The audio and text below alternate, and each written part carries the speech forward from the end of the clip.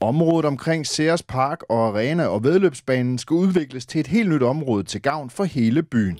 Sådan lyder visionen bag et nyt forslag, der onsdag blev præsenteret under navnet Aarhus Folkepark. Her er alle aktører i området, herunder AGF, gået sammen om en vision for hele området for enden af Stadion Allé, hvor byudvikler Rune Kilden, arkitektfirmaerne CF Møller og Slet har hjulpet med at føde en helt ny vision for området, herunder et nyt fodboldstadion til Aarhus. Det, er det, som vi synes er rigtig interessant, det er jo, at man ikke bare ser på hver idrætsgren for sig, og ikke det her med, om det skal handle om et stadion, eller en løbebane, eller nogle tennisbaner, men at, at det, er, det er faktisk alle, der er med her. Og det er jo egentlig det, visionen går ud på. Og der gør vi jo så det, at vi, som vi altid gør, når vi arbejder, spoler lidt tilbage og ser, hvor kommer vi egentlig fra. Og Aarhus Idrætspark er jo en kæmpe vision, der er skabt for, ja, Øh, næste år 100 år siden, ikke? Øh, som er en, en historie om byudvikling. Og det er jo det, der er vores speciale. Øhm, og det synes vi var sindssygt spændende at være en del af. Og det vi så gør, det er, at vi, vi etablerer jo så konceptet Aarhus Folkepark, hvor vi jo egentlig udvider historien endnu mere. Øhm, og det er det, der samler det hele hvor så idrætten jo er centrum i den vision. Ideen det er jo at prøve at revitalisere det område, der blev tænkt for øh, 100 år siden. Prøve at øh, opgradere en del af funktionerne til sådan, som vi vil øh, gøre det i dag. Øh, så blande det med nogle øh, bygninger øh, rundt omkring, og så prøve at lave sådan et helt øh, rekreativt øh, område for, øh, for byen øh, og naboerne, som vi kalder Aarhus Folkepark. I konceptet alle aktører i området med, Dermed kommer Aarhus Folkepark til at handle om hestesport, fodbold, håndbold, atletik, cykling og mange andre former for idræt og motion. Derudover bliver området i endnu højere grad knyttet til Aarhus og til byen. Der har jo været en del øh, politisk debat omkring øh, tingene, og, og, og folkelig debat kan man vel sige, om øh, der var aktører, der skulle flyttes ud af området, for at, øh, øh at andre ligesom kunne blive øh, opgraderet.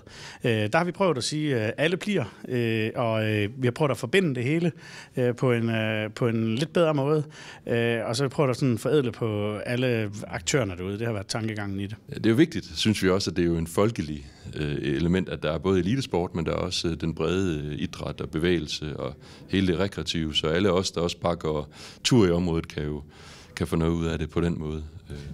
Ja, hvad er det for nogle kvaliteter, byen vil få af det her område, hvis I kommer i mål med visionen?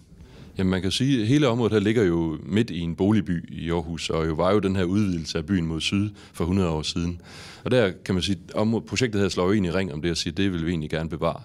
Vi foreslår jo også boliger ind i området, på, på blandt andet bakken op imod øh, højen deroppe, hvor vi jo gerne vil lave sådan et byhuskvarter.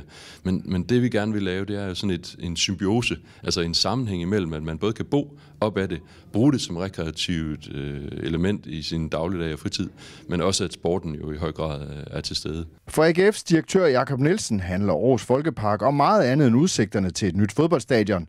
Det er en vision om en fælles udvikling af hele området omkring AGF's hjemmebane. Det er et fælles projekt, først og fremmest understreget fælles. Øh, det er et fantastisk projekt, og det er fornyelse, så det er sådan øh, øh, det er et F-projekt i, i allerhøjeste forstand, øh, Folkepark.